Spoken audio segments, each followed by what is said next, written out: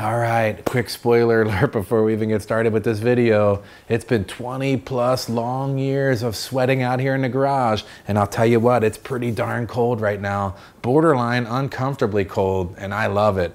So if you own a garage or a house and you're thinking to yourself, man, air conditioning is out of my price point or out of my skill set, you might be wrong. Stick around and watch the video and you'll see Anybody can do it and it's reasonably priced. Now, one quick thing before we get started. If you're an engineer for NASA and you're gonna be thinking, man, that wire is not bent a full 180 degrees and the, you know, the resistance on that, man, if you're thinking that way, this video is not for you. This is for the DIY homeowner trying to get an air conditioner in their garage and trying to get cooled down without all the bull crap.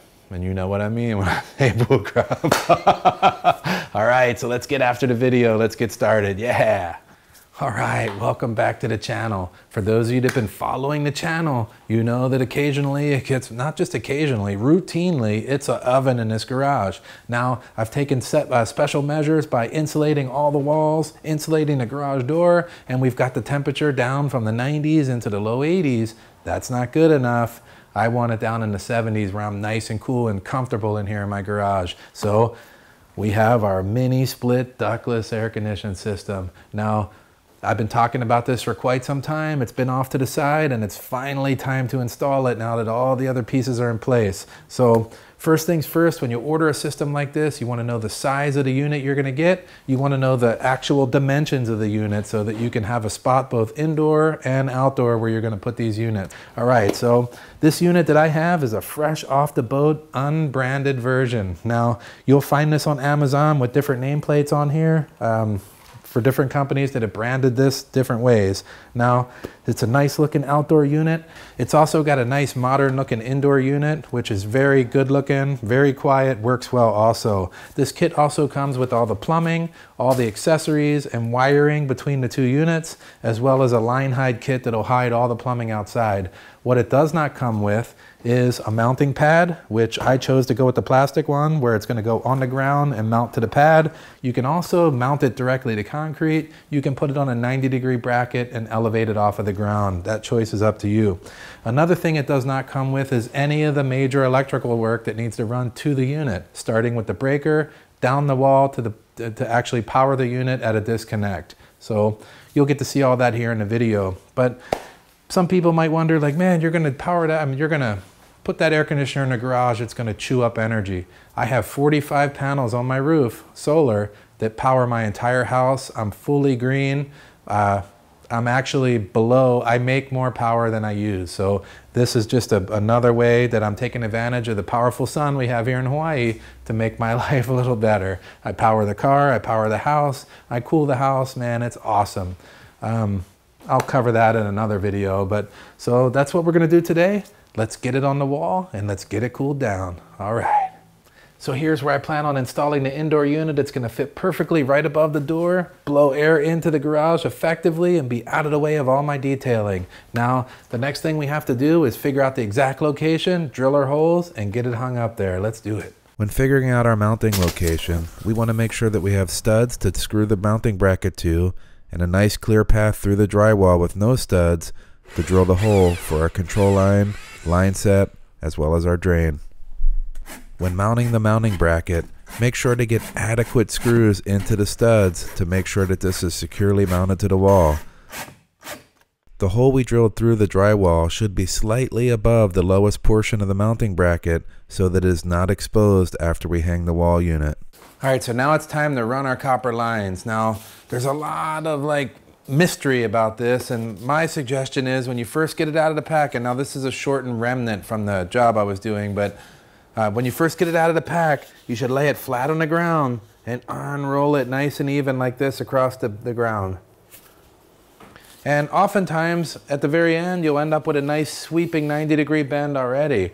But if you are gonna bend a, a 90 degree bend, be careful. What you want to do is you want to bend it nice and easy, little by little. Now, the longer it takes, the better on this one. And you got to just keep going around the radius and bending it and bending it and bending it. Now, without, with it being underneath, it's kind of hard to tell if you've kinked it. Now, what we do not want, no matter what, is we do not want this to get kinked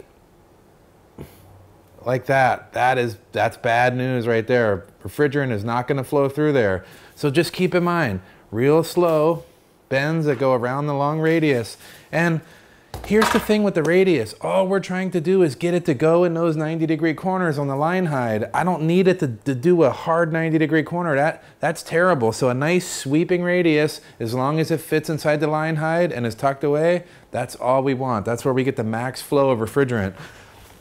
If you want to get any more bend than that based on your scenario, I recommend a high quality pipe bender. Now, I could have done this outside on my situation, but I just felt like all those hard 90s is not a good thing and it's in the back of my garage facing a direction it doesn't matter and it still looks pretty good. So size it up based on your configuration. If you if it's obviously noticeable in the front of your house and you really need some perfect bends without any risk of kinking it, get a high quality pipe bender. That's my suggestion. Now, the Mr. Cool unit, on the other hand, has a nice spring around the copper, which really makes bending it easy. But there's no way around the fact that if you just, you know, bend it like out of control in one spot, it's gonna kink and you're done. All right, let's get that pipe on the wall and let's get moving. Okay, now that the mounting bracket is fully installed and we got the pipe bent, it's nice and tight to the wall, it's time to put the unit up there and see what that looks like.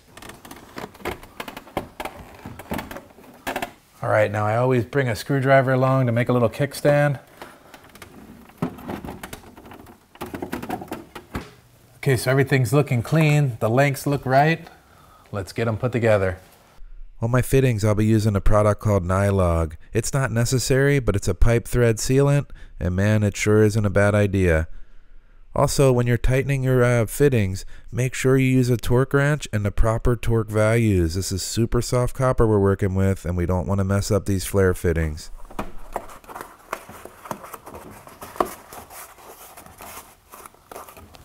Next, we'll connect our drain hose. Now we'll run the control wire, leaving just enough to get the job done. We'll route the wire underneath of the machine and through the through hole in the wall. Use the supplied pipe wrapping to clean things up and get it looking organized underneath the machine. A quick note, your drain line should be the lowest line going through the hole and underneath the machine. This is a gravity fed drain, so it's very important. After everything's all tidied up, we'll snap the wall unit into place. Now it's time to connect the control wire. Make special note of the arrangement of your wires. I chose one red, two white, three black, and green to ground. The outdoor unit is going to have to match this same exact configuration. For now, the indoor unit is completely installed. It's time to go outside and get that outdoor unit all set up. All right, let's do it. So here's my outdoor site location. There's the breaker box, straight down the wall, and the unit's going to be right there on the end. I'll start by grading the area with some gravel, putting down the mounting pad, leveling the mounting pad, now grading the gravel around the area so that no water collects around the machine. So for my particular installation, the line set comes out of the wall, around this block pillar that supports the garage, I use tie wire to temporarily hold it up because it's heavy and I don't want it bending. And then run it down to right to the outdoor unit. I like to wrap the remainder of the line set with the provided pipe wrapping to keep it clean and to reduce the exposure to the elements. Let's get this buttoned up. So after the drain line went through the wall, I ran it down the wall with PVC, took a 90 degree bend, and run it off the side of the cement slab into an area where water can drain. And here's what the line hide looks like completed. It came in white. Of course, I painted it brown to match. I do have an irregular configuration around this corner, but I did not want to overbend the pipes, so I'm happy with it.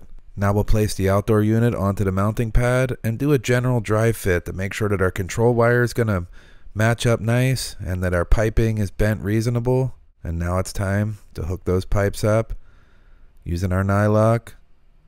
Make sure it goes on nice and easy, hand tight. Be sure to use a torque wrench and achieve that specified torque value.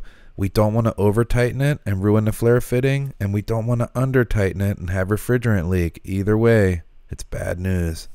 On a Mr. Cool unit, this is where you would be finished with the plumbing, but on a non Mr. Cool unit, this is where you would begin your vacuum evacuation. I'll talk about that more later. Once the plumbing is complete, we'll use a hex key to open up both valves and allow the refrigerant to slowly enter the system. Now it's time to move on to the electrical. We need to run conduit from our breaker box down to our air conditioner disconnect. I'll be using 10 gauge wire for my installation, so I have 10 gauge through the conduit and a 10 gauge appliance whip down to the unit. Here we have line 1, line 2, and a ground, which is our 220 volt power supply from our breaker box. We also have 1, 2, and 3, and a ground, which is our control wire from our indoor unit. If you remember back, we did red 1, white 2, black 3, and green ground, just like on the indoor unit. Now it's time to connect the electrical inside the air conditioner disconnect. This is where we start to get into if you don't know what you're doing, hire a professional. For this 18,000 BTU unit, we're using a 220 20 volt breaker. Now that we have the breaker in, all labeled nicely, the breaker box put back together, the conduit's in, it's all painted, it looks great. The disconnect is all situated. Now it's time to put the cover back on and get everything done inside there. We're almost ready to turn this on. That looks pretty clean, I gotta say. So we'll mount the cover back on. Also, we'll put the cover for the line set on. Double check all your work. Everything should be done at this point. There should be no loose ends or nothing looking out of the ordinary. And here we go again, man. I'm looking at the wall. It looks like crap. So I gotta paint this damn thing. Now that that's looking all better, let's fire it up. So now that the wall mounted indoor head unit is installed and everything's all set up, there's nothing left to do but to turn this thing on and get this garage cooled down. So let's go ahead and turn it on. All right, there it is. Already set at 70. Somebody knows I wanted it cold in here. All right, so the cold air is already pouring out of it. I can tell you right now, it's gonna cool this garage down really easy. That's a big blast of cold air and it's really quiet too, which is, which is helpful. I mean, it's always pretty noisy in here anyway when I'm working, but you know, when I'm filming, it's super important to not have like a loud fan, you know, honking in the background. All right, so the unit is on and running, and I gotta say it's whisper quiet out here too. I mean, the microphone's literally six inches from the unit, and I can barely hear it in my own ear, so we'll see what it sounds like on camera, but more than four or five feet away, you can just hear a low, low fan rumble. So that's good.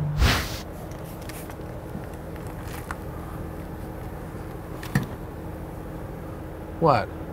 Of course I'm putting bead maker on it. Why wouldn't I? All right, so that outdoor unit is whisper quiet. I mean, I've had it running now for about a half an hour. I can tell you what, man, even here in the garage, I can hear my, my freezer over top of the, the wall unit. So man, it's blowing out amazingly cold air and no sound whatsoever pretty much. I mean, there's a little, don't get me wrong, but it, it's reasonable, it's quiet. So let's talk about the install, man. It went really good. I mean, I had really no hangups. You know, each install is going to be different. You're going to have a different way you route the pipes. And one thing I could say, man, just take your time with the pipe bending. Think about all your bends in advance. Uh, don't just start bending and yanking on the pipe. You can't get, you're in big trouble, man. And then you got to get new line set or something like that. So that, that's the time that's going to take some time and some patience. So um, I wanted to talk about the two different types of units that you can get. Now I've brought it up already, but Mr. Cool version, that's the one I recommend for 99% of you guys. It's going to be just put the line set, you know, do the full install exactly the way you watch me do it, hook the line set up, and pretty much you're done. It has pre-charged lines, which means that they do not need to be evacuated.